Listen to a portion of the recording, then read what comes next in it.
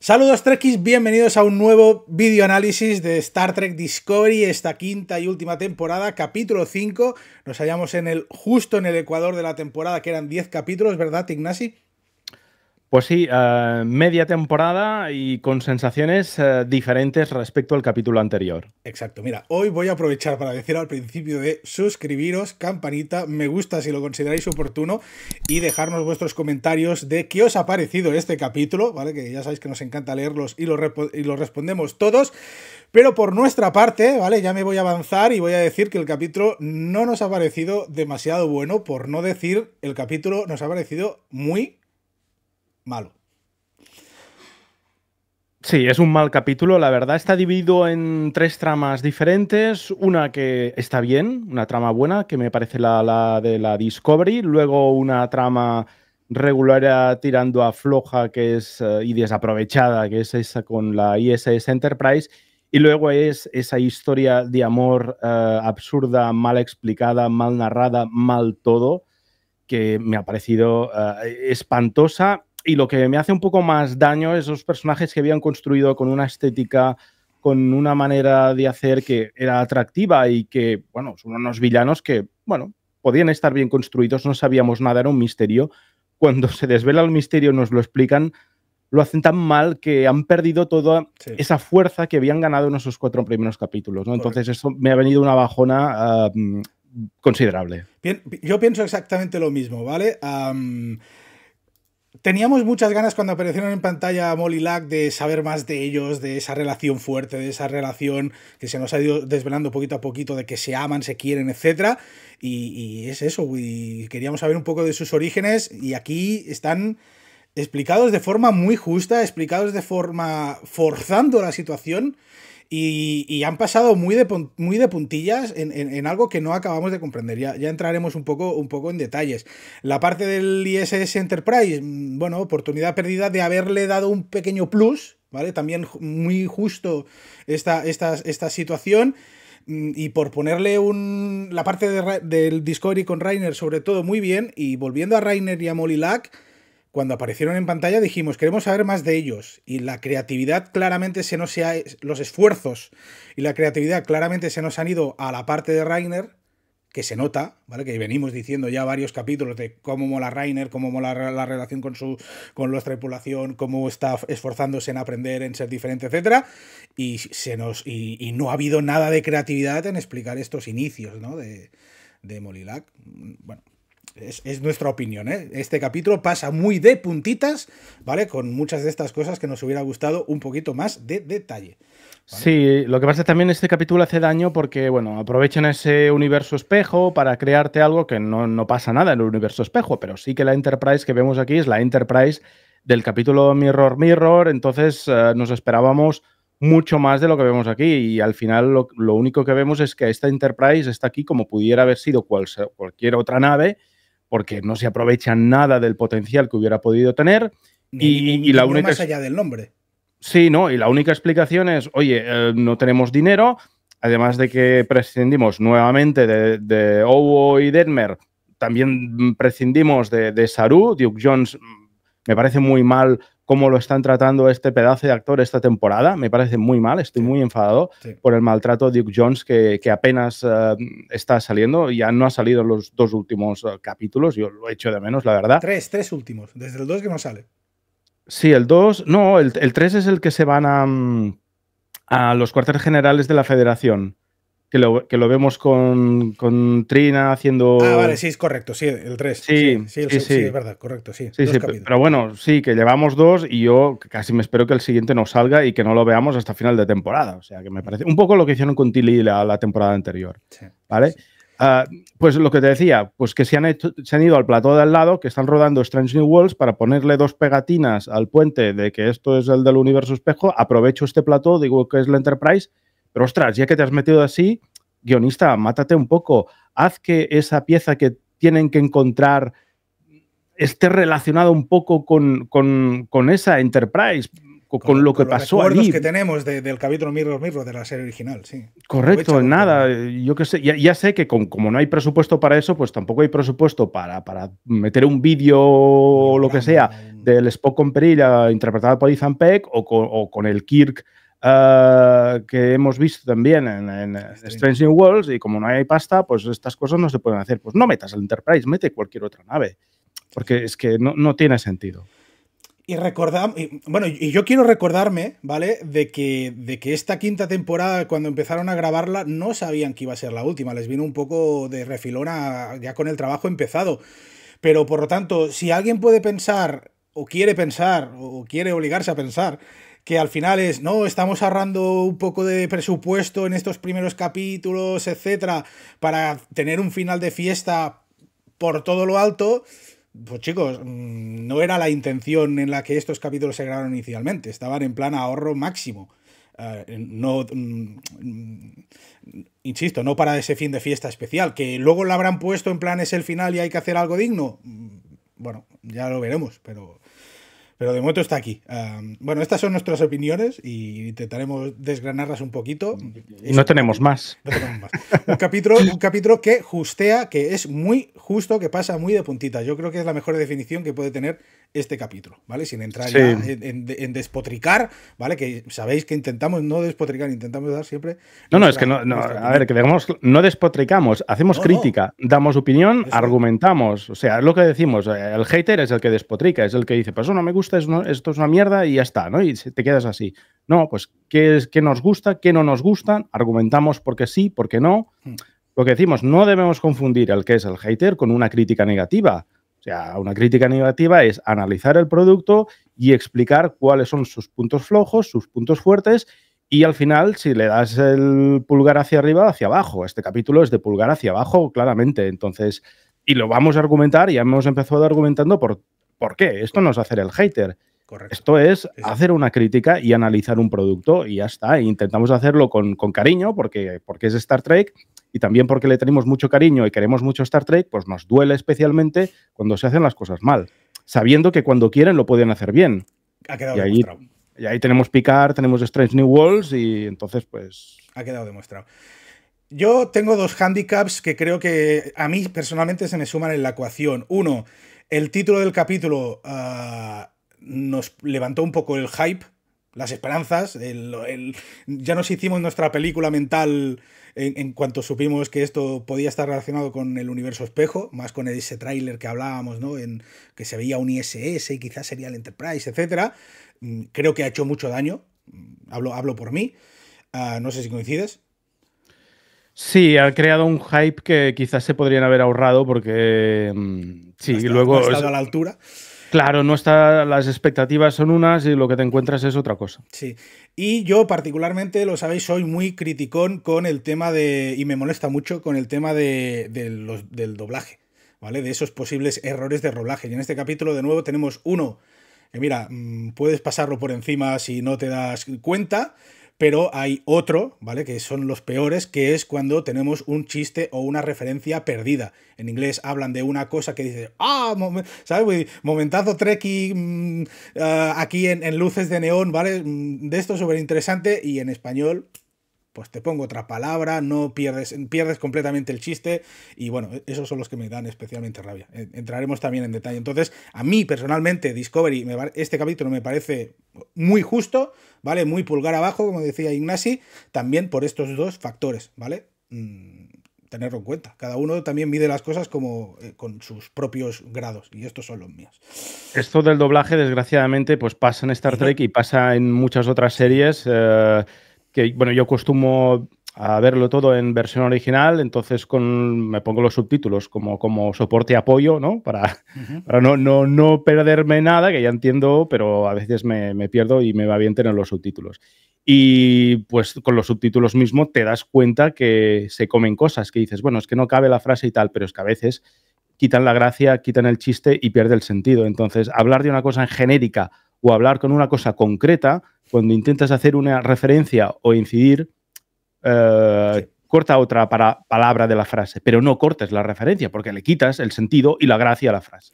Yo creo que en, este sentido, a ver, a mí me gustaría ¿eh? hacer un vídeo con, con, Nacho, que es quizás un poco nuestro referente en este sentido, para, que a Nacho me lo quiero mucho, ¿eh? que las críticas de doblaje mm, serán o no serán culpa de Nacho. Yo no estoy diciendo eso, ¿eh?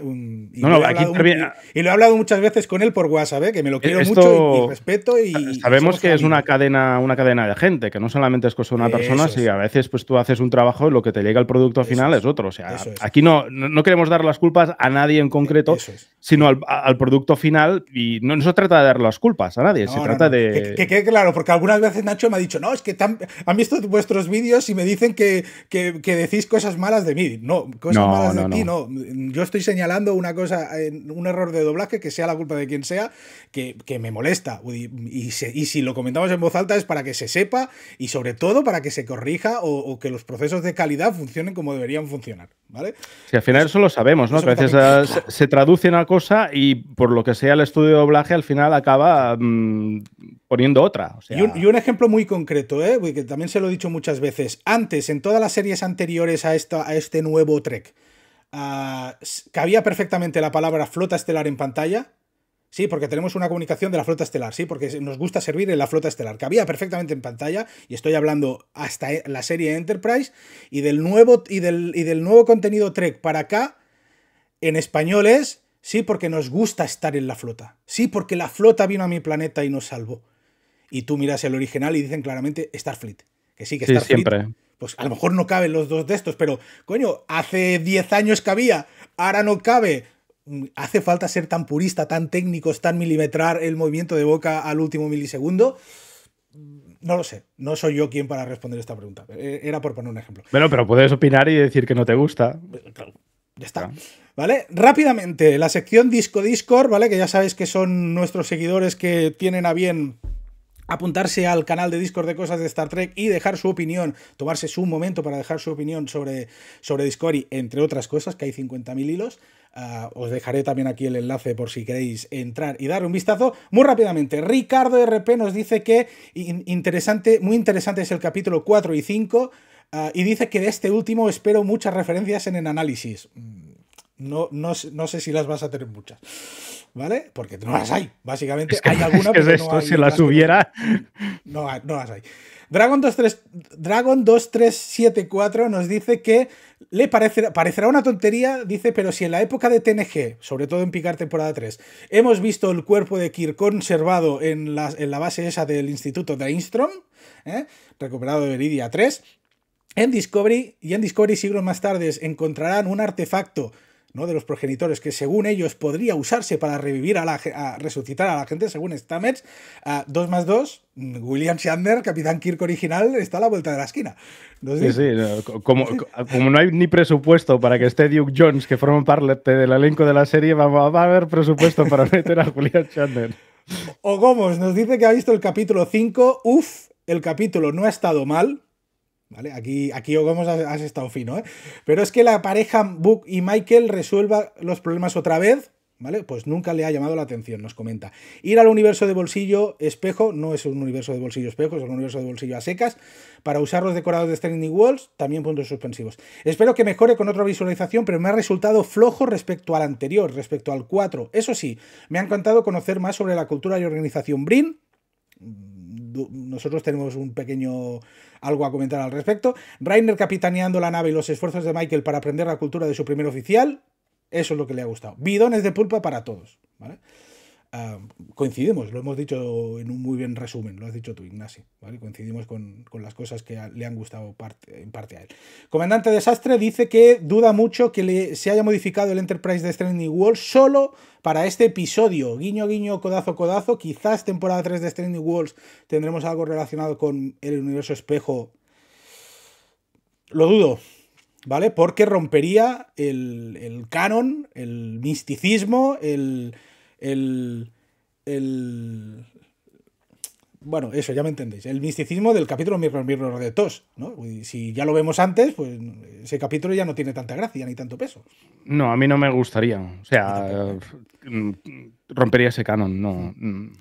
Nacheta nos dice que a ver qué pasa con esta Enterprise. No creo que sea gratuita su presencia. A ver cómo avanza la temporada. Si Nachete se refiere a que quizás en esta temporada 5 de Discovery volveremos a ver al Enterprise este haciendo alguna cosa, yo creo que ya dalo por descartado. Yo también. Se, la llevan y quizás la llevan a ese museo de la flota estelar. Eh, puede ser, pero... puede ser, puede ser. Eloy nos dice muy claramente, es un episodio, este episodio es malo, la relación Booker-Bookman no funciona, pese a que intentan forzarlo, ¿eh? Siempre intentan forzarlo y no. Funcionó mejor la semana pasada, en el episodio anterior, con ese book eh, sin sí, pero no era el presente, era el pasado. Funcionó, ya no funciona. O resuélvelo, no sé, o cortas o vuelven. Esa tensión, bueno. Ah, eso no funciona. Se pierde otra vez la posibilidad de interacción con la tripulación de la Discovery, con los habituales. Casi todos los del puente son nuevos. Y volvemos otra vez a rescatar a Constitution o variantes que ya las tenemos más que vistas que el TVO no hay ideas para una nueva Enterprise. Digo, a ver, ¿por qué no haber puesto la F?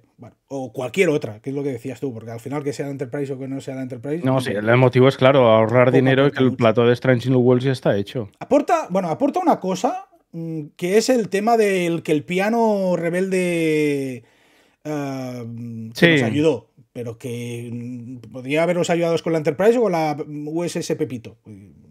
Si ese es el único motivo para poner Enterprise, pues. Lo único que se salva es lo del capitán Rainer, otro, eh, otro oficial con carisma desaprovechado, como Lorca. No creo que esté desaprovechado, pero estamos en sus inicios. Rainer está muy bien, de hecho es prácticamente lo único que me gusta de este capítulo. Bueno, Rainer y, tanto la trama de, bueno, la trama de Tilly, lo que tenemos con, con el Dr. Culver, toda esa parte de los dos personajes principales de Discovery, creo que está bien en este capítulo. Sí. Y dice que eh, otro, otro tema a discutir del capítulo es la dinámica esta de, ahorrar presupuesto que estamos ya viendo, intuyendo desde, desde hace unos cuantos. Nachete acaba con que es un refrito de la tercera y cuarta temporada, está a la caza del tesoro con los buenos y los malos hasta conseguirlo. Luego se complicará y lo arreglarán en el último capítulo y punto final. Bueno, no bueno, yo no estoy de acuerdo en que esta temporada sea un refrito de la tercera y la cuarta. Sí estoy de acuerdo en que la cuarta es un refrito de la tercera, ya lo he dicho muchas veces. Pero bueno, mm, a ver, a ver por dónde vamos, a ver por dónde vamos. Sí, es, verdad lo que dices. ¿eh? Entiendo la idea ¿eh? de, lo que mm. quiere decir, pero coincido contigo que no es exactamente un refrito, porque aquí tenemos mm, quizá episodios más autocontenidos. Sí, sí, sí, sí. Muy bien, nos vamos a darle la nota. Yo le doy un 6 y yo creo que estoy siendo bastante generoso, ¿vale? Con... Pues yo le doy un 5 y también es estoy siendo, creo, bastante generoso. Un 5 pelado, ¿eh? Como aquel que, el que le ponen un 4 y medio, pero al final el profe se apiada y va, te pongo un 5 para que no. Yo, yo en, un, en uno de los. Yo sé que nos van a caer comentarios mm, no voy a decir negativos, pero comentarios de chicos que estáis muy negativos con esta temporada, que tampoco es tan mala, etcétera, etcétera, ¿vale? Como ya hemos tenido en, algunos de los primeros. Yo, yo no quiero excusarme ni, ni, ni, a nada, no, no quiero excusarme. Pero solo, solo permitirme añadir una cosa antes de empezar, ¿eh? Y, siento perder tiempo con esto. Ah, amo Star Trek, ¿vale? Star Trek ha, hecho, me ha hecho de mí la persona que soy, ¿vale? Ah, entonces, mm, no tengo por qué conformarme con un suficiente, con que Discovery sea suficiente, ¿vale? funcione mínimamente. Espero más, ah, deseo más, aspiro a más, ¿vale? Y cuando, y cuando veo que se puede y que por A o por B no se puede o no se quiere o no se consigue, ¿vale? Porque al final estas cosas mm, a veces son, son producto del azar, el resultado es mm, completamente al azar y, y dependen 50.000 circunstancias, pues puedo sentirme como yo quiera sentirme. Ya está. Entonces, dicho esto, ah, empezamos, vamos a dividir el capítulo, al igual que ya hemos hecho en anteriores, en anteriores mm, videoanálisis, nos vamos a centrar en el foco de todo lo que pasa en la Discovery, ¿vale? Top 1. Luego vamos a saltar en todo lo que pasa en, a bordo de la ISS Enterprise, top 2. Y luego saltaremos en el, en el top 3 de todo lo que pasa con, esas, con esos flashbacks en, en las naves Brin, con ese nos conocemos y nos enamoramos de Molly Lack. ¿Os parece? Venga, va. Venga, Discovery, uh, Ignasi, de memoria, ¿eh? porque al final las hojas, ya te digo, no, no, he apuntado las notas. En la Discovery empezamos con un Cleveland Booker eh, haciendo un diario personal, básicamente explicando que eh, más pronto que tarde van a encontrarse con Moll. Eh, nos recuerda, aprovechan para recordarnos la relación, entre comillas, personal que tienen de que la conoce, era hijo de su mentor, etcétera, es hija de su mentora, etcétera, etcétera que es lo más cercano que tiene una familia, y que si él tuvo la oportunidad de cambiar de vida, ¿no? Ah, y de ser, y de hacer, ser mejor persona, hacer el bien, etcétera, ¿vale? Porque tuvo opción de elegir, ¿vale? Él quiere ofrecerle también la opción de elegir, ¿no? De, poder cambiar, de poder decidir ser mejor persona para Mol, ¿vale? Sé que no es demasiado tarde para ella. ¿Vale? Porque él tuvo la oportunidad. Muy bien, ah, saltamos al puente donde tenemos ah, un cambio de turno, si este cambio de tour, vemos a oficiales levantándose de, los puestos de, timón, etcétera, etcétera, y yéndose, y viniendo los personajes nuevos que ya, que ya nos han ido introduciendo en, lo que llevamos de temporada, mm, la Teniente Gato y compañía, y otra vez decimos, bueno, es que no van a estar, no, no, no van a estar los, los habituales de siempre, ¿no? Entonces yo no creo que sea malo ir rotando entre, entre tripulantes, porque al final también lo hemos tenido un poquito en, en la serie original, ¿no? Que no hemos tenido a Chekhov, por ejemplo, en los mandos, o a Zulu, y hemos tenido a otra persona, y gracias a esa persona se lía la troca. Ah, por ejemplo, estoy pensando en el capítulo. Mm, el de los submarinos que persiguen a los romulanos, ¿no? Que el que está en el puente. Sí, sí. Pero a ver, pero eso no, es un buen ejemplo porque. No, no, ya lo sé, pero me refiero que esta persona que no habíamos visto hasta ahora es un poco el handicap de demuestro el odio que tengo hasta hacia esta persona, demuestra lo que el, Capitán Kirk debería sentir y no quiere sentir por la paz galáctica. Y no está mal que pase esto, pero esta persona sí tenía un peso y tenía, y tenía una utilidad. No más que decir, sí, vale, activo la pantalla, capitán. Sí, sí. No, yo, yo hecho de menos la, o sea, las tripulaciones del puente. La serie original, pues era como era, funcionaba como funcionaba, y el tema de los secundarios, pues em, era lo que era, ¿no? Entonces sí que es verdad que luego las películas arregló un poco esto, pero aquella tripulación iba cambiando, ¿no? O sea, estaban cinco capítulos sin salir Zulu, luego salía, Chekhov entra a partir de la segunda temporada, pero tampoco en todos los capítulos, y al final una, serie muy centrada en uh, Kirk, Spock y McCoy y todo el resto pues eran muy secundarios, ¿no? Entonces, esto se, ha arreglado en las nuevas series y, mm, bueno, ya hemos visto, ¿no? En la nueva generación cómo toda la tripulación tiene su protagonismo, hay capítulos centrados en estos secundarios, todo esto Discovery no lo ha hecho con el hándicap de que nos tenemos que creer que... Bueno, lo ha hecho muy poco, lo ha hecho muy poquito. Muy lo ha hecho con algunos mucho y con el resto nada. Sí, por eso, con el resto que no lo ha hecho, es los que ellos quieren que nosotros nos queramos, que nos sintamos parte.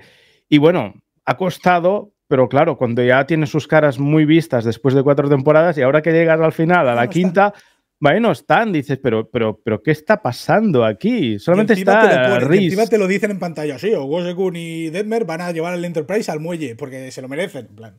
¿Qué es lo que decimos? Mira, si no, es, si no están, es que casi que no lo, no lo digas, que quizá pasa desapercibido y la gente no se va a dar cuenta, pero si encima pones el foco sobre ello y lo dices y te das cuenta, ¿y dónde están? No salen. Otra vez, un capítulo más donde no están. No hace falta que lo digas, no lo digas. Eso es, eso es. Vale, pues este cambio de turno, ¿no? Llegan los nuevos, pero si este cambio de turno hubiera sido con los anteriores, que es como acabamos el capítulo anterior, con Demir y Wosekun levantándose y yéndose, diría, vale, los he visto, están, entiendo el cambio de turno porque es la hora que toca y ya está, pero es que no, es que el cambio de turno que se va incluso no son ellos, es, son otros. Pero bueno, es igual y viene Tilly y Stammers a hacer un informe de estado, ¿no? Como si fueran al despacho del director ahí delante de la pizarra, en, delante de todo el mundo, explicando pues mm, que han encontrado algo. Y parece ser que ah, hay una especie de energía invisible que los sensores no están detectando.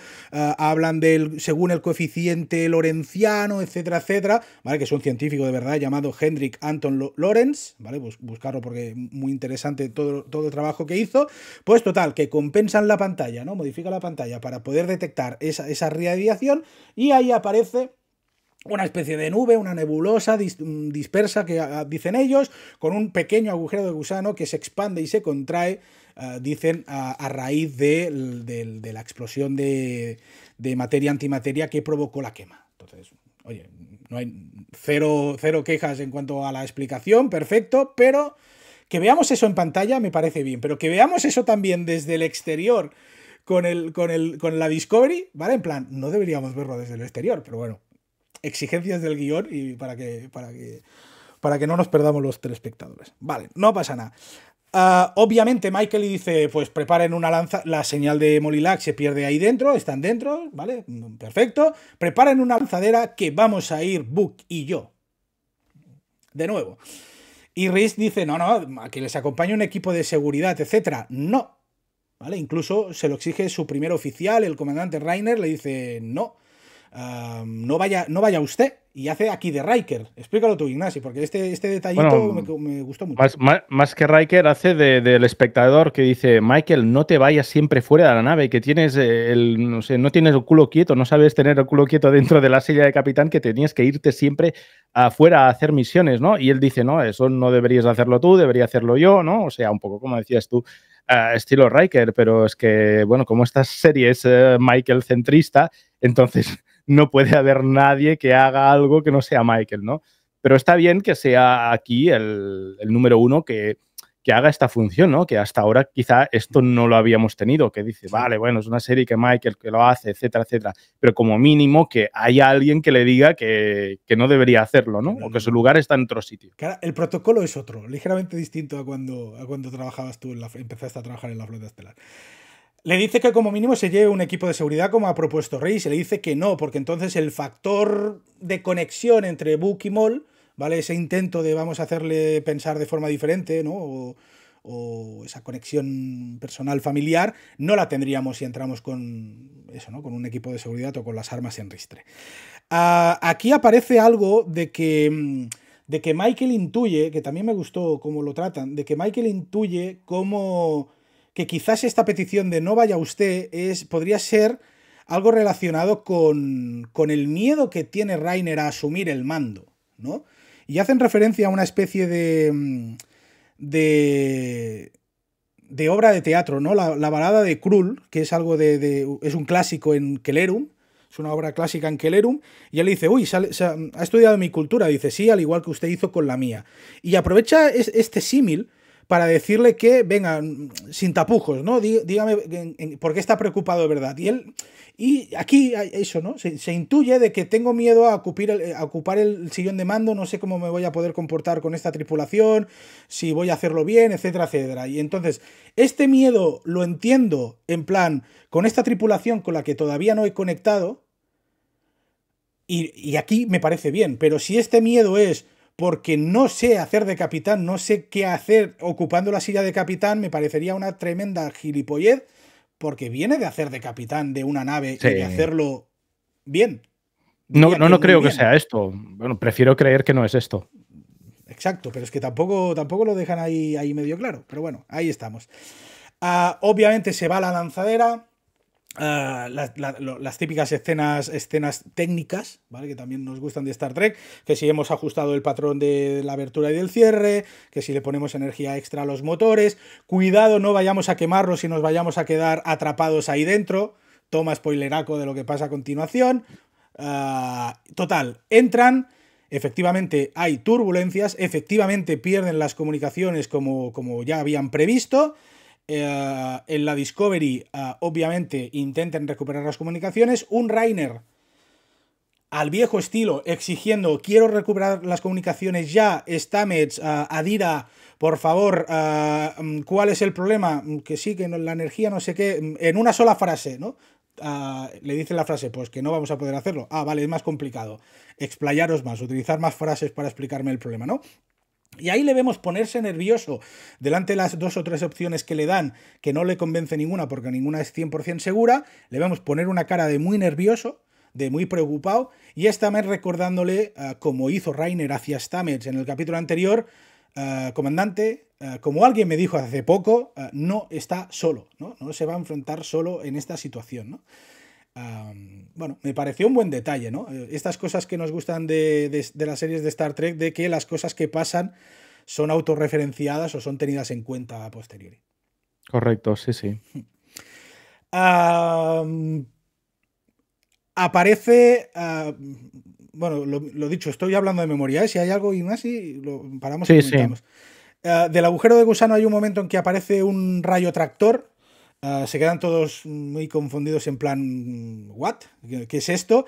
Hay un patrón de un número 3134, 3144, no, no, no, no lo recuerdo, que al final es un número ¿vale? Que a Rainer le vuelve a recordar algo relacionado con la balada esta de Krull, ¿no? Más tarde lo explica el porqué, pero este número, esta secuencia de números, conecta con Krull, con la balada de Krull, como Michael me la ha referenciado hace poco, sé que es cosa suya, por lo tanto, agarrémonos a este radio tractor, a este cabo, de, a, este, a esta punta de la cuerda para estirar, pero claro, hay que hacer el agujero más grande. Adira, está, necesito el agujero más grande. Ah, creo que Riz, ah, después de una dialéctica. Es el único que está de los que conocemos, por eso debe ser Riz. Y el de comunicaciones. El de comunicaciones también está. Después de, una dialéctica entre todos, ¿no? Ofreciendo, ofreciendo ¿Cómo se llama? ¿Cómo se llama el de comunicaciones? Christopher, eso.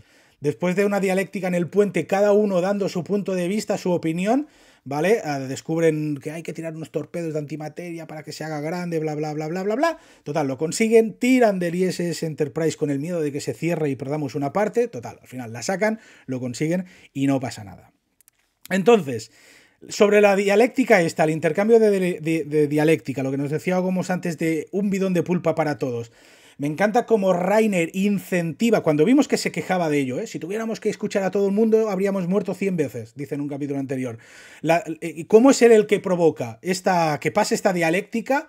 diciéndole que invitará a, eso, ¿no? A, una pulpa de cítricos de Keller, una exquisitez de, su, de, su, planeta, al que resuelva la situación para hacer el agujero de gusano más grande, ¿no? Entonces vemos como hay esta dialéctica, no sé qué, y aunque solo lo resuelva Riz, acaba diciendo, o aunque el que dé con la solución correcta sea Riz, al final es un bidón de pulpa para todos, ¿vale? Gracias mm. por, entre todos, juntos, ¿vale? Haber resuelto la situación y haber puesto a la capitán y a Book a salvo, ¿no? Entonces, bueno, está bien. Súper bien, súper chula. Sí, esto es, funciona perfectamente como esa evolución que tiene ese personaje, ¿no? O sea, está, bien trabajada, la están trabajando, le están dando mucha importancia al personaje, lo están tratando bien y aquí lo hemos visto cómo va cambiando a poco a poco, ¿no? Capítulo a capítulo. Por lo tanto, toda esa parte está muy bien. Está bien trabajada y tiene coherencia también con todo lo que hemos visto hasta ahora a lo largo de la temporada. Y el actor está fenomenal y, y de ahí, bueno, creo que hay química entre, entre el cast y clásico, digamos, de la serie y él me funciona perfecto. Incluso esa referencia, ¿no? Que sea eso que han hablado con Michael al principio, que no le hemos dado importancia, que sea la clave que acabe eh, dando con ese rescate al final del capítulo. Está muy bien. Este tipo de dialécticas en el puente de todos con todos eh, lo hemos visto en repetidas ocasiones en Discovery y yo creo que es un recurso que les funciona bien. Sí, y él está viendo pues esa manera diferente de trabajar que hasta ahora él no tenía y está viendo que funciona, ¿no? Entonces está haciendo evolucionar al personaje que es lo que nos gusta, que los, personajes evolucionen. hay otro punto interesante de la, de la Discovery. Hay, en realidad nos faltan dos puntos importantes. Uno lo vamos a dejar un poco para el final, después de hablar de, los tres puntos que hemos dicho que hablaríamos del capítulo. Pero sí, mm, paremos un segundo, Ignasi, para comentar el, el hecho de que Tilly, cuando tiene que ir a enfermería a seguir un conducto EPS para aumentar la energía del sistema de comunicaciones, se da cuenta, intuye que al doctor Culver le pasa alguna cosa, le preocupa alguna cosa, llega a decirle incluso, usted cuida de nosotros a nivel psicológico y nadie cuida de usted, ¿no? Nadie se toma la molestia de preguntar, ¿qué tal estás? ¿no? Y luego, mm, obviamente, ese momento queda interruptus por, por, por, por la emergencia de la situación, pero más tarde, cuando estamos en la cantina, si me permitéis un poco de celebración, con Linus tocando el piano. Y, aparece también de fondo el, para temas de, ahorrar, el, el, morn que lo van metiendo en todos sitios, aprovechando pues ese, ese maquillaje. Es verdad. Pues ahí en este momento sí que aprovechamos para tener esa conversación Tilly Culver que me gustaría que la explicaras tú, Ignacio. Sí, básicamente em, es me gusta mucho esta conversación, ¿no? Porque ella se fija, y hemos dicho, se fija en que Culver le, pasa algo.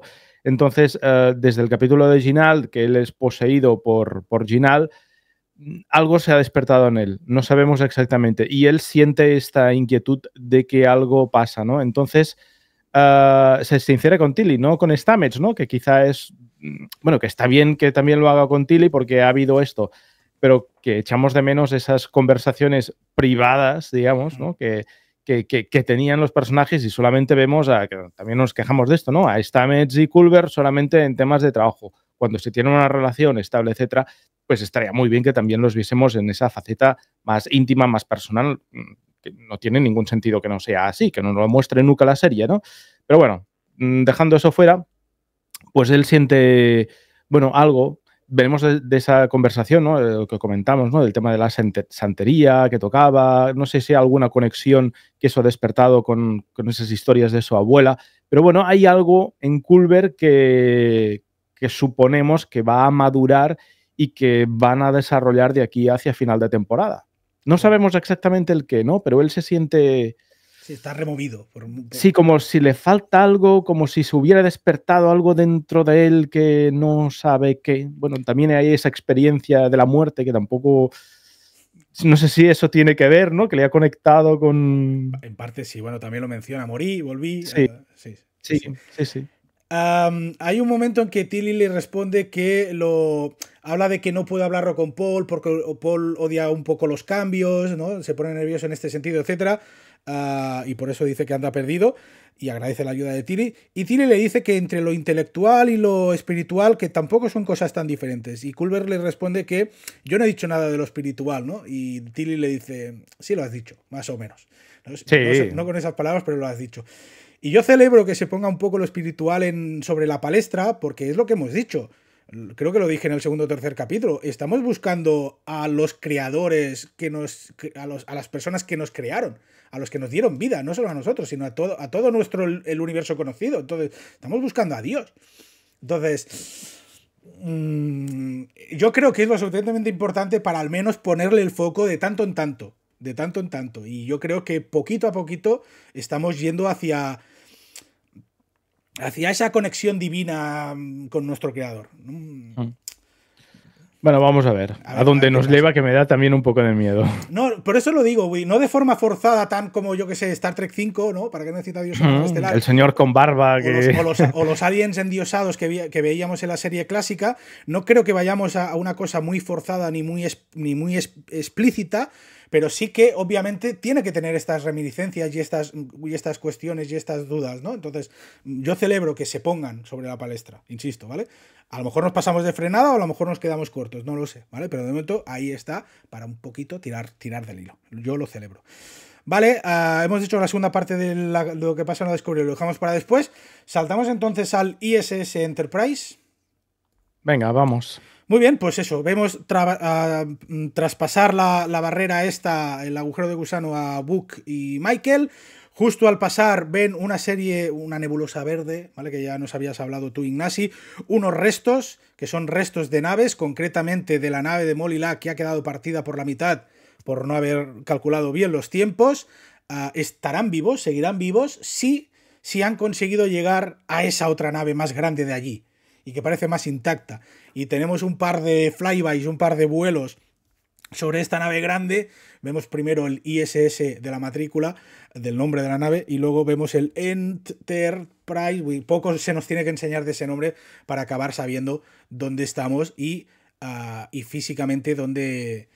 y a nivel de recuerdos, dónde nos deberíamos ubicar el ISS Enterprise, el Enterprise del universo espejo, del universo espejo, el Enterprise que vimos en el capítulo Mirror Mirror de la serie original, pero importante detalle y lo dicen también creo que en este momento, no estamos en el universo espejo, estamos en un universo interdimensional de bolsillo, un espacio entre dimensiones que no es ni nuestro universo ni el universo espejo. Y Michael recuerda por si todavía había alguna duda, que me parece un buen detalle, que cruzar entre nuestros universos está prohibido o no se puede hacer desde hace varios siglos. Y esto lo explica Kovic con toda la trama del universo espejo y de los chungos temporales que le da a Filipa Giorgio, ¿vale? Habla de que esta barrera o, este, o esta debilidad interdimensional quedó desaparecida mm. o, se perdió hace mucho. Sí, es cuando también sale que no es del universo espejo, pero es de la línea Kelvin, ¿no? Ese alienígena que vemos. Con el uniforme de TNG.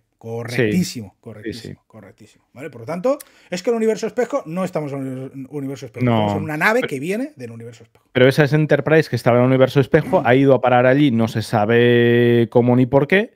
Bueno, y... es, en parte sí, cómo no.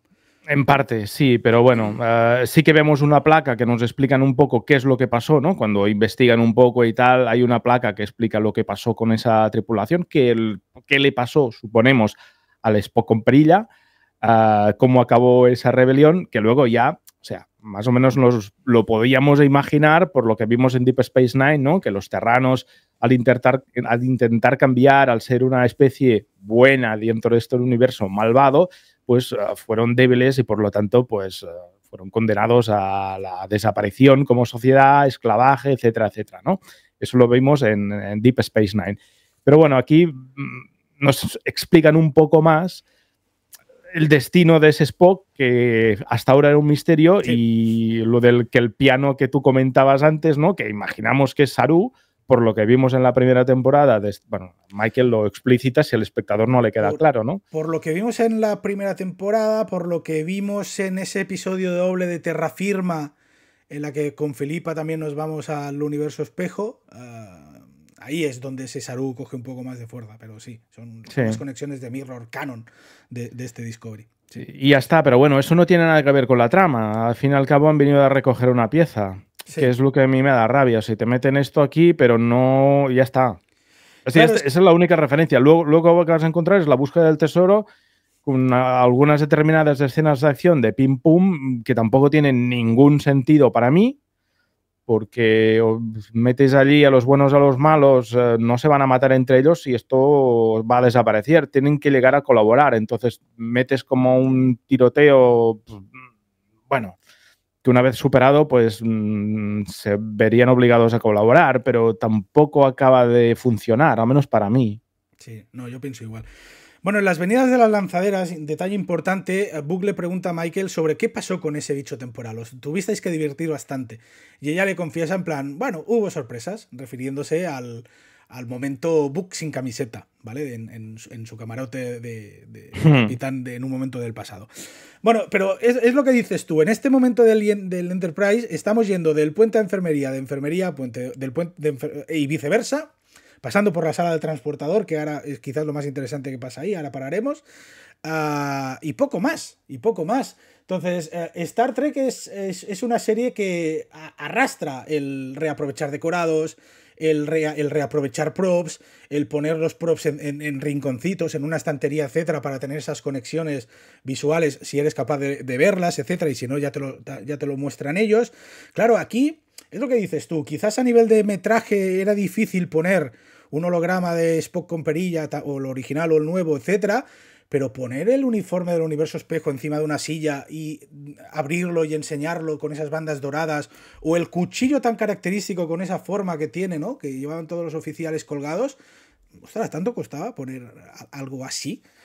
O, sí, pero... oír, un pequeño un fragmento de audio del diario de a bordo para escuchar el, al, Spock, al Spock simplemente diciendo hemos tenido una experiencia con nuestros dobles del universo, de un universo normal, no me ha hecho replantearme cosas, bla, bla, nada, nada. Y encima lo justifican en plan, es que han eliminado los diarios de a bordo. no me pidas que lo buscas porque no lo voy a buscar porque no existen.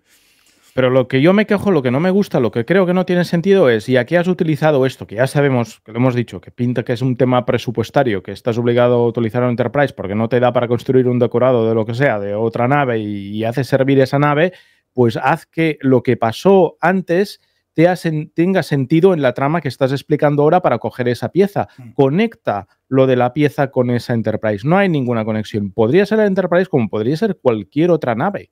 No tiene que, o sea, no hay ningún sentido, no da al guionista ningún sentido el por qué tenga que ser la ISS Enterprise.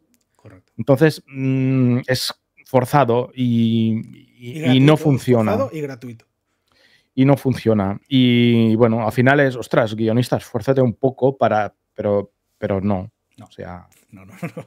Vale.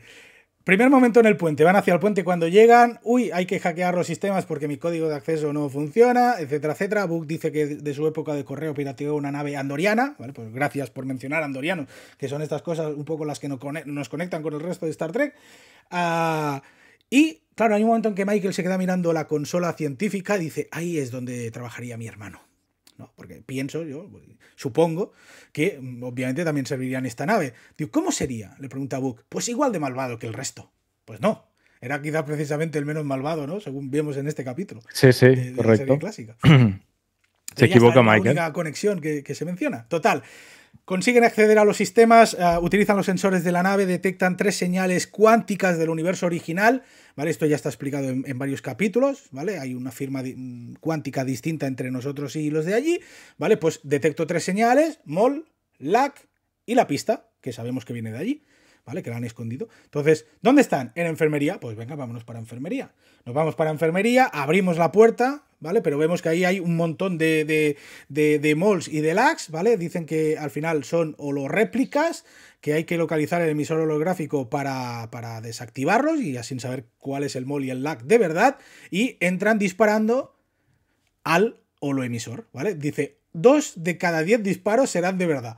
¿No? Ah, hay que arriesgarse. Total, consiguen desactivar el holo emisor, localizan a Molly Lag, hay ahí un intercambio de disparos hasta que se ponen todos a cubierto, y ahí Mol y ahí Book y Michael intentando negociar, ¿no? Intentando, incluso saliendo a pecho descubierto, arriesgándose a que le disparen ah, antes de escucharte para, oye, que estamos atrapados aquí, que os podemos sacar, que dadnos la pieza. Incluso Michael utiliza una treta porque ha cogido antes un camafeo. Uy, nos hemos dejado la parte del transportador, espera. Ha cogido un camafeo en la sala del transporte, en plan, no, no. Esta es la pieza original, utilizar vuestros sensores para la firma cuántica, porque ha puesto ella una pieza de su comunicador dentro, ¿no? Entonces, no utilizan los sensores, pero la medio creen, ¿no? En plan, date cuidado de que sí que hay que escucharlos, ¿no? Mínimamente. Y entre el viaje de, puente a enfermería, es lo que decimos, pasamos por la sala del transportador, porque originalmente la pieza estaba aquí, allí encuentran ropa de cama, juguetes de niños, etc. Michael dice, es lo que menos hubiera pensado encontrarme en una nave de, de guerra, y menos en una nave del universo espejo, que, ¿vale? que niños, etc. Y allí me gusta mucho el peluche ese del camaleón multicolor que, coge. Y Book leyendo la, placa metálica que decías tú un poco con la historia de lo que ha pasado en la nave. Yo solo tengo apuntado el eslogan, ¿vale? La luz de la esperanza ilumina incluso las noches más oscuras, que nos llevaría un poco a Green Lantern del universo de DC. Pero bueno, en esta placa alguien se ha tomado la molestia de hacer una captura de pantalla y mm, y que lo dejamos por aquí y hacer la traducción completa, pero viene lo que decías tú, Ignacio, hacer referencia aunque el piano a, a que el... no al emperador, al nuevo emperador, hablan del nuevo canciller. El nuevo canciller ha hecho cambios, lo han matado y esta nave se ha visto obligada a huir, ¿no? A, hacer un motín y a intentar huir al universo normal y por el camino nos ha ayudado un que el piano rebelde, un antiguo esclavo que el piano rebelde y líder de los rebeldes y por el camino hemos ido acogiendo, acogiendo refugiados, ¿no? Sí, ese canciller imaginamos que es Spock, el Spock espejo. Sí, sí, sí. lo han cargado. Exacto, ¿vale? Entonces parece ser que, ah, que dicen también que no hay cápsulas de escape, que no hay lanzaderas, que han borrado el diario de a bordo y ¿Habrán logrado esta gente, ¿no? los refugiados, huir realmente a nuestro universo, que es a donde Oportunamente han borrado el diario de a bordo para que no pongamos un vídeo de Spock o, de Kirk. Eso es, eso es. Que claro, que si el diario de a bordo está borrado, ¿cómo saca luego Michael la base de datos de los nombres de los tripulantes para hacer la comparativa con Zora? Porque estaba en la papelera de reciclaje y lo pudo saquear de allí. Ah, el, que, el que lo borró no hizo vaciar la papelera. Es que hay que explicarlo todo, ¿eh? ¿Cómo Hombre. Por favor. Bueno, total, eso, los dimes y diretes en enfermería, que hay que, que, confía, que no confía, que si tu padre, que si yo, yo conocía a tu padre, etcétera, etcétera. Total, me gusta mucho uh, cómo Moll se va poniendo nerviosa ante esta tesitura, ¿no? En plan, no vamos a ir a una, a una celda de la federación.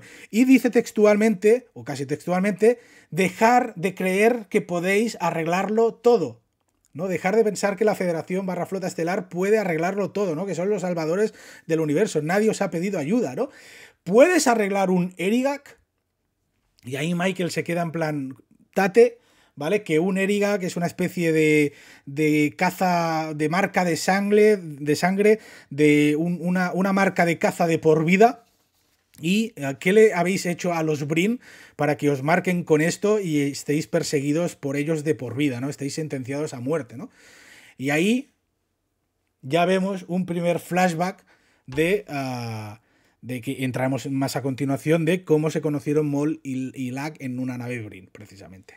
Total, ah, entre flashback y otras escenas de enfermería, ah, nuevos disparos activan un par mm, de escudos en enfermería, se quedan atrapados, Molly Book obviamente se quedan fuera, tienen que ir al puente los dos a liberar, a desactivar estos escudos en enfermería, en enfermería Michael y Lack se quedan hablando, apuntándose, diciendo que se me está casando el brazo de apuntarnos, sigue preguntando, sigue explicando su relación con Lack con el tema de los Brin, por qué os persiguen, etcétera, etcétera.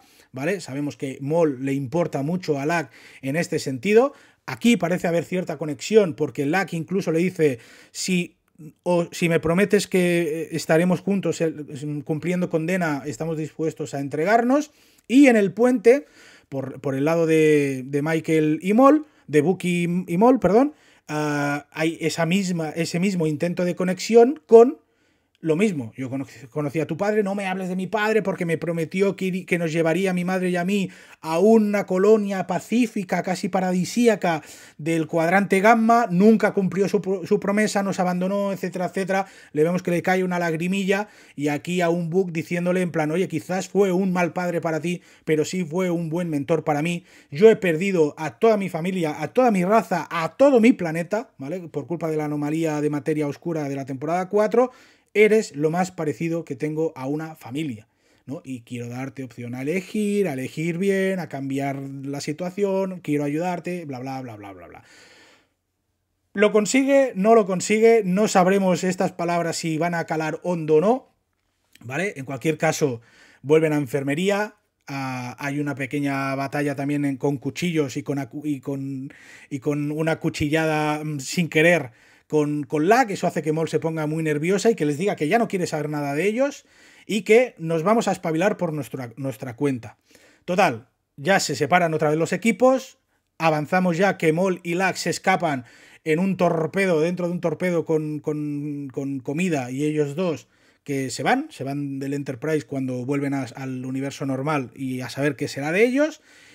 Y poco más pasa en el, en el Enterprise, aparte de volver al puente, activar el rayo tractor que ya hemos dicho y cruzar los dedos para que Rainer se le ocurra algo para sacarnos de aquí.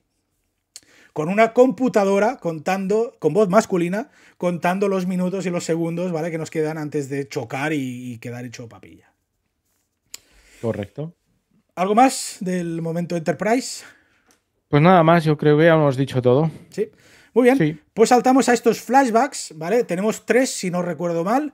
El primero es cuando se destapa que están perseguidos por un Erigak. ¿Cómo lo habéis conseguido? Pues lo sabremos en el tercero. Pero el primero básicamente es Moll haciendo de correo, entregando un cargamento de dilitio cortado, es decir, trampeado, ¿vale? Mal, refinado. Ah, y un soldado, un soldado Brin, acercándose a ella porque quiere hablar con ella. vemos que cambian de su, de su idioma de, ¿vale? de ruiditos raros detrás del casco por, por el, estándar básico. Y para hablar con ella y le dice que tiene sospechas de que ella está cortando el dilitio, de que tiene que inspeccionarlo. Y ella reconociéndole con mucha chulería, ¿vale? Quizás una de las pocas cosas que salvo de, de este momento es la chulería con la que actúa Moll, diciéndole que sí, que el dilitio está refinado, ¿vale? Que hay que ganarse la vida y que con un socio dentro, es decir, contigo como socio, ¿vale? En, este, en este negocio de trapicheos, ¿vale? Podríamos hacernos ricos los dos. Es decir, tú haces la vista gorda, ¿vale? Y te doy tu parte y aquí no ha pasado nada. Lack, porque es Lack el que está debajo de ese casco, de ese casco Brin, le dice que debería matarte solo por mencionarlo, pero no lo has hecho, ni has llamado a la guardia, y es porque esto te, te, intriga. Y si te intriga es porque sé que has sido degradado a inspector de muelle de lanzaderas. Le hace referencia a la insignia que tiene en el cinturón. Esta insignia hace referencia a la realeza. Sé que tu tío es el, jefe, ¿no? El, líder de esta, de esta, sección de los Brin, de, esta flota de los Brin, de, esta escuadra concreta, y que no estás contento con ello, ¿no? Por lo tanto, mm, te doy una alternativa. Y ahí le vemos, ¿no? En varios flashbacks consiguientes, que sí, que acepta hacer ese trapicheo, que Moll le da su parte del dinero por lo bajini e incluso le pide, ¿vale? Ya vemos que tienen ese... Porque en el primer flashback Moll está como, como, como ligando descaradamente con él, ¿no? como, parte del juego. Yo puedo entender este ligoteo descarado como parte del juego de quiero convencerte a que seas mi... a que trapichees conmigo, ¿no? A que seas mi socio en la sombra, ¿no? Pero en esta segunda, en este segundo flashback ese ligoteo ya está como un poco más consolidado, ¿vale? Ah, el rollete está más consolidado, son, son algo más que conocidos, son amigos, ¿vale? Para que nos entendamos.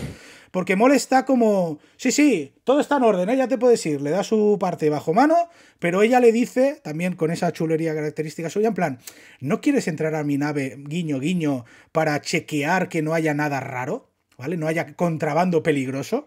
Ahora, vuelvo a esto, ¿vale? En plan, oye, métete en mi nave, ¿eh? cerramos el pestillo, ¿vale? Y, alegría de la buena, ¿no? No es la primera vez que les pasa. Y primera queja del doblaje. Moll dice en castellano, no quieres inspeccionar mi nave para que no haya contrabando peligroso. En original, ¿qué dice? No quieres inspeccionar mi nave, no sea que tenga tribbles de contrabando. Chico, no es lo mismo. No, claro, aquí está la gracia, digamos, y se pierde la referencia. Una pena. mismo, chiste perdido. No es el primer chiste que se pierde en Discovery por, por, estas situaciones. Y Moll también le pide que, venga, me lo prometiste ah, la semana que viene. Eso mismo dijiste la semana anterior. Dice que no te lo voy a enseñar, que sí, que no, al final le convencen y lo que le está pidiendo Moll es que se quite el casco, le quiere ver el rostro le quiere ver el rostro de verdad. Entonces, se ha liado con el casco puesto. ¿eh? Eso te quería decir, ¿no? Más fetiche que, esto no hay, ¿eh? Látex por todos lados. Ah, total, se quita el casco y vemos esa pequeña conexión que había con, la, con, el primer capítulo de esta temporada, que ya lo dije yo, y mucha gente también se dio cuenta, de que ah, al quitarse el casco en la nave romulana científica, había una especie rara, un efecto raro, un efecto especial mm, difícil de entender y aquí vemos, entendemos el porqué, porque es que su rostro original es. es este verde semitransparente, gelatinoso. No sé, no sé cómo llamarle. ¿Vale? Sí, es raro, como líquido, pero no es líquido, ¿no? Sí, sí, sí.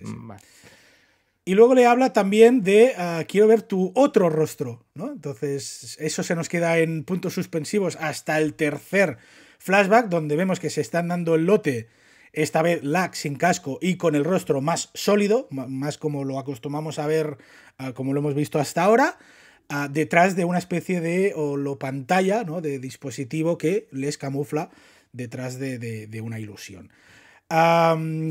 vemos cómo llega el, patriarca, su tío, con, la guardia. desactiva el dispositivo, sabe perfectamente que están ahí y él le dice que ha traicionado a su raza, ha traicionado a su esencia y que la, única, y que, la única forma de, redimirse es matando a Mol.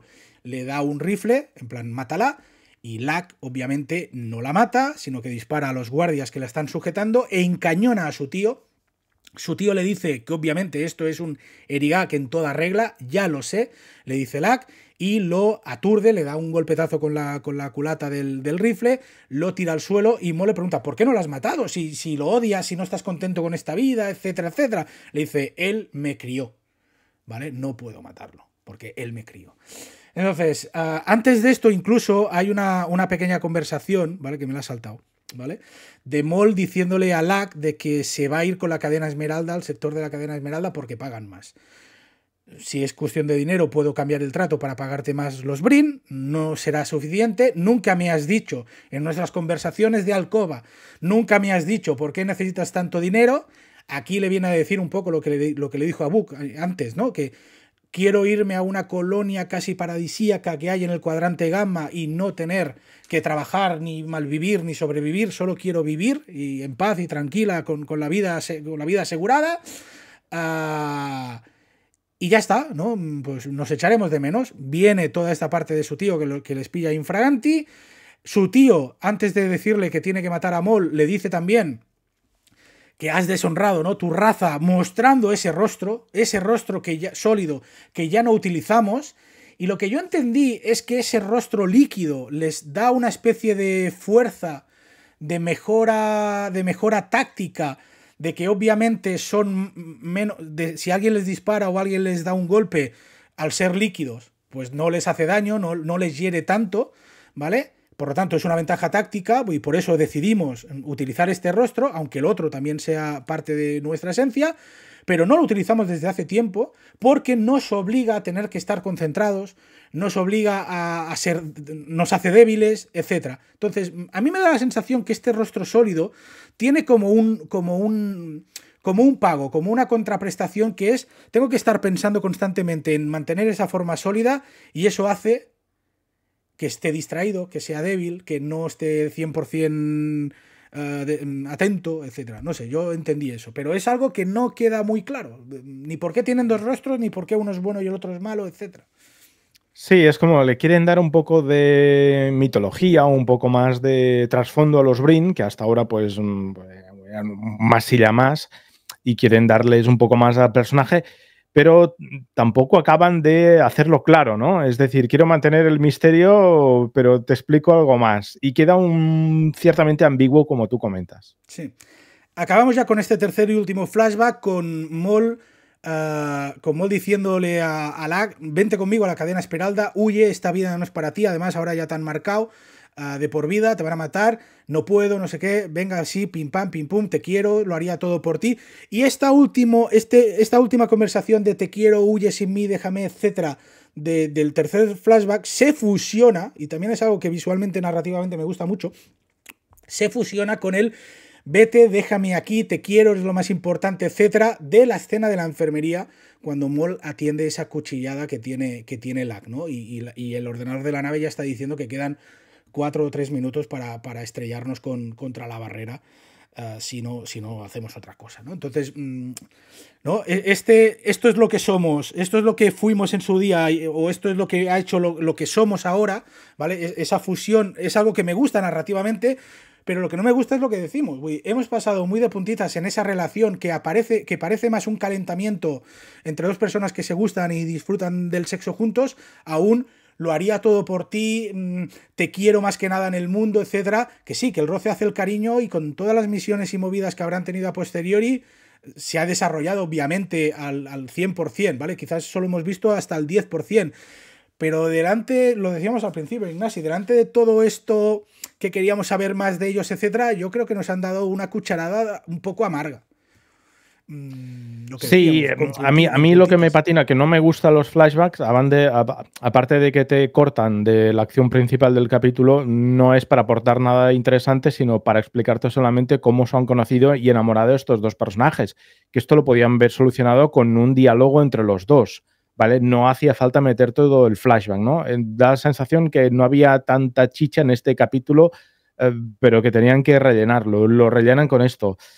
Mm, que por otra parte, pues casi mejor que se hubiera quedado con una línea de diálogo o con un diálogo entre los personajes, porque es que lo que vemos aquí tampoco a mí, mm, o sea, me estropea un poco porque tampoco entiendo por qué se enamoran, no, no, no, no hay química entre los dos, se dicen que se han enamorado, pero no lo tengo que creer, no lo veo ni en el guion, ni en la interpretación, ni en nada, ¿no? Entonces, mm, me aburre, o sea, me aburre y me corta de, la acción principal del capítulo. Entonces, estos flashbacks ha sido como soporífero directamente. Ahora que dices me aburre, recuerdo el texto que te pasé por, por, WhatsApp cuando nos dijimos que ya habíamos visto el episodio. Recuerdo haberte puesto qué pereza de capítulo. Totalmente, totalmente. Es que, y, además, cuando eso nos, llegan a estos flashbacks, es de una bajona Ah, terrible y mm, se supone que te tiene que emocionar cuando se quiten el casco porque es pero tampoco le saben dar esa épica esa cosa que ostras se quita te queda yo me quedé un poco igual. Hay esa revelación de que él es un que no lo sabíamos no que, que es un brin y como que no le saben dar ese no sé ese algo no esa cosa. Hmm. mm, te quedas igual, al menos yo me quedé igual, no, no, no me despertó ninguna emoción, también porque los Brin es una raza que sinceramente me da un poco igual, es decir, los hemos visto en cuatro capítulos de Deep Space Nine, como unos más y las más, allí en el dominio había muchas razas, habían muy interesantes, pero es que estos son unos tipos con un casco y, punto, ¿no? O sea, no, nada más, no había intención. Ahora pues han querido pues darles un poco más de contexto, que me parece bien, pero no tiene, no sé, que tampoco es un misterio que me hubiera preocupado mucho cómo serán esos tipos detrás de la máscara, ¿no? Sí, sí, sí. Bueno, yo, yo igual, ¿eh? primero, sobre la relación justa, ¿qué pretendía explicarnos el, guionista? Porque nos ha dado algo bastante descafeinado, es que ni, chicha ni limonada. Y sobre los Brin, aparecen en Espacio Profundo 9. Yo cuando aparecieron los entendí como unos mercenarios que hemos contratado para ayudar a la guerra, mm, sin más. Que, y luego hay capítulos que sí que intentan darle esa, esa, esa peligrosidad, ¿no? Como si fueran el hombre del saco, ¿no? Del cuadrante gamma. Ah, como si fueran algo muy peligroso, como si fueran eso, ¿no? Un enemigo a tener en cuenta que si te sale debajo, si este, capítulo, este capítulo te quiere dar una información que, que, no es real o que tú, si has visto Deep Space Nine, sabes que no es así. Son una gran amenaza y no sé qué, no sé cuántos, pero sí, eran un masilla. Exacto. Lo que yo conozco, ¿no? Ahora nos estén intentando hacer creer que es otra cosa. Pero tampoco hemos visto, nos lo están diciendo, no lo hemos visto, no lo hemos palpado. Bueno, en fin. Vale. son los Brin de 900 años en el futuro. ¿vale? Son, otra cosa. Sí, son diferentes. Vale. Y lo que decíamos, ¿no? Volvemos a nuestro universo, ¿vale? Acabamos ya con, con, la parte de, de, la Discovery. Volvemos a nuestro universo. Y ahí, aparte de la conversación Tilly Culver, tenemos la conversación Michael Reiner sobre Gracias por la señal que hacía referencia a la balada de Krull. Supe que era usted. Nos desvelan que esa señal de 3141, no lo tengo exacto, era porque el protagonista llamaba con los tambores de la guerra. No, el hermano del protagonista llamaba con los tambores de la guerra, le pedía ayuda con un repiqueo de tres, de ese compás, ¿no? De 3141, los sonidos del tambor, etcétera. Y por eso sube que era usted pidiendo ayuda, ¿no? Pidiéndome ayuda desde este lado, ¿vale? Esa parte bien. Volvemos a Michael en el camarote suyo poniendo la cuarta, el tercer, la, perdón, la tercera pieza del puzzle en esa base imprimida en 3D por Zora. Con un dial, que yo hasta ese momento no había visto el dial de líquido en, pantalla. todo, aunque Lag lo enseña en un momento, ya tenemos la pieza. Yo pensaba que era una pieza normal y corriente. No, no se acaba de distinguir ese dial de líquido que dice que le va a dar a Stamets para que lo analice, porque seguramente en la pieza no hay nada, allí sí que hay algo que seguramente nos llevará a la siguiente pista. ¿Crees que es sangre de alguna raza? ¿Crees que es ah, un caldo primigenio, un cultivo, mm, parte de los ingredientes para crear vida, tipo el petróleo negro de, de Prometheus de Alien, para que me entiendas? Pues ni idea, no, no, me hagas especular porque esta serie, la verdad, que puede ser cualquier cosa que les venga de gusto en ese momento. Y aquí una conversación final con Book que en la parte personal Michael le confiesa que, ¿te acuerdas antes que me preguntaste sobre lo del bicho temporal y te dije que hubo sorpresas? Pues claro, me encontré contigo, en esa época estábamos bien, éramos felices, en pasado. Y Book ya yo creo que ya lo da por perdido diciendo en plan, sí, fuimos felices. ¿Vale? En plan, yo ya no espero nada de ahora, porque cada vez que hablamos o nos interrumpen o no eres clara, Michael, pues mira, yo ya no te digo nada, ¿vale? Pero es lo que decimos, digo, chico, resuelve este tira ya floja, güey, porque nos va a durar hasta final de temporada. Total, sí, sí. Sí, sí. Y la parte más interesante quizás de la conversación entre ellos es, ¿te das cuenta de que cada vez que encontramos una pieza hay como un aprendizaje, ¿no? Implica un aprendizaje, ¿no? ¿Por qué será, no? Y hacen referencia a lo de Ginal contra los monstruos esos de la forma de vida distinta de los Enotrax, la parte cultural de mantener la, historia cultural del planeta, del planeta, del planeta cementerio. Y ahora esta parte de aquí, ¿no? Aprender, ¿qué hemos aprendido, ¿no? ¿Qué, mensaje hemos aprendido? ¿Qué, valor hemos aprendido de, de esta pista, ¿no? Pues mira, hemos aprendido, ¿no? La esperanza, el huir, el, querer libertad, el aspirar, a una, el aspirar a una vida mejor, etc. Y es entonces cuando Michael dice que ha cogido la base de datos de los tripulantes. ¿De dónde? De la papelera de reciclaje. Ah, hmm. la, le ha hecho comparar a Zora a, eh, cruzar la información con las bases de datos del futuro de, y dice que una tal doctora Cho científica que viajaba del universo espejo que viajaba en el ISS Enterprise acabó entrando en la flota estelar, acabó llegando a almirante y hay un momento, muchos de ellos acabaron ah, formando parte de los mundos de la federación y de la doctora Cho hay un momento en que se pierde el rastro, ¿no? Se borra su registro. Esto ya nos lo dijo Ginal, ¿no? Cuando decidimos los científicos de que íbamos a, esconder las pistas ¿no? del mundo de los primigenios, etc., nos borramos incluso de las bases de datos para, para dificultar ¿no? la, que se supiera de ello. ¿no? Entonces, este borraje de datos seguramente, seguramente venga, venga por aquí. Esto nos da a entender de que, de que mm, del, del, por qué la doctora Cho decidió poner la pista, la tercera pista allí, era porque ella sabía que esa nave estaba allí atrapada. Entonces esa nave lleva allí atrapada desde lo menos 900 años. Bueno, 900 no, esto pasa en, Deep Space en, la, en, en, Deep Space Nine, pues llevará eso, 800 o 700 años ahí atrapada. Puede ser. Entonces, yo creo que ya estamos, ¿vale? Con la última parte de Discovery, que es esta, esta pequeña conexión. Ah, se hace una pregunta también, Michael Book, que es: ¿qué crees que nos encontraremos? Espera, esto sí lo tengo apuntado. ¿Vale? ¿Qué crees que nos encontraremos? ¿Qué crees que pasará cuando acabemos de montar el puzzle? No lo sé, pero me muero por saberlo. Le dice, le dice Michael. Bueno, quizás una de las mejores cosas que tiene, que tiene esta, esta temporada, que es la trama esta de la búsqueda del tesoro, que a mí particularmente me gusta mucho, ¿vale? Ir componiendo una pieza, un mapa pieza a pieza y que cada pieza implique una pequeña aventurilla y a ver qué nos depara los próximos. Mm, veremos. ¿Vale? Nos, ah. quedan, nos quedan, si no he contado mal, dos piezas. Porque Michael dijo que habían cinco, tenemos tres, nos faltan dos. Y estamos a mitad de temporada. De tempos, vamos bien. Sí, sí. Para no correr a última hora. Bueno, tenemos el cierre también, o sea que, bueno, ya, y que eso va a ir aparte de, la trama, digamos, de la búsqueda del tesoro.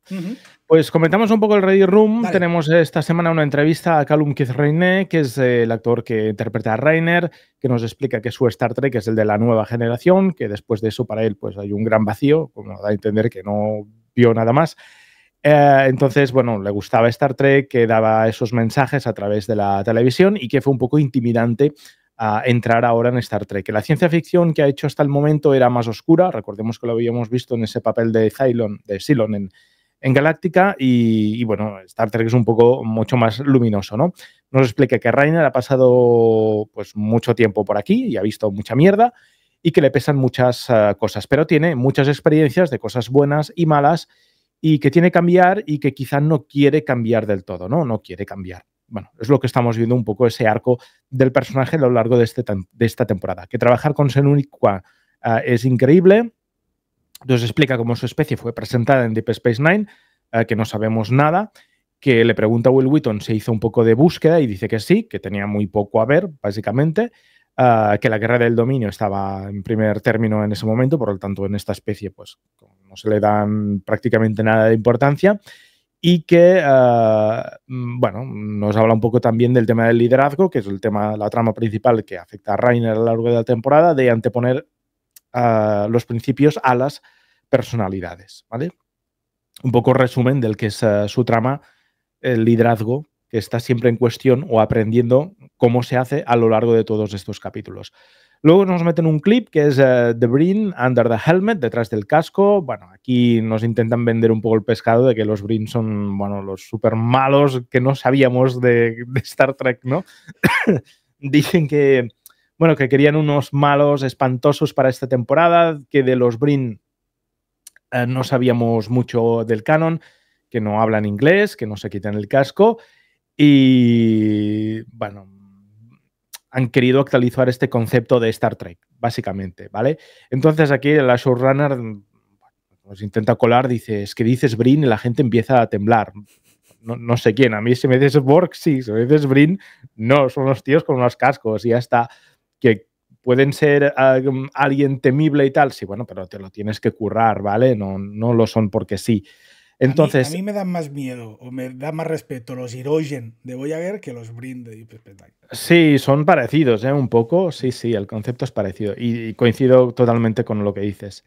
Ah, bueno, aquí dice que conocemos la historia de fondo entre la Alimok y uh, entre el Akimol y entendemos que no quiere formar parte de la cultura Brin, ¿no? Es la explicación que dan. Luego vemos un clip del capítulo de la próxima semana, que básicamente es Michael y Tilly, que están encubiertas uh, buscando una nueva pista en un planeta.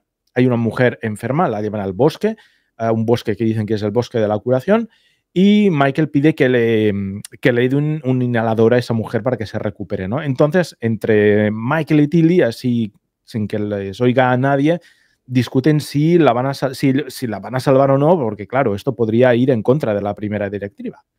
Entonces, eh, la gente de allí mm, forma un círculo alrededor de esta persona para salvarla. Y ya está.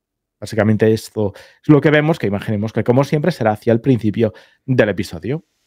Pues muy bien, ya está lo de siempre. Suscribiros, campanita, me gusta si así lo consideráis, pero por favor comentarios, porque nos gustará saber vuestras opiniones de este capítulo y poder debatirlas constructivamente. Ignasi, mil gracias, como siempre. Pues nos vemos la próxima semana. Chao. Adiós.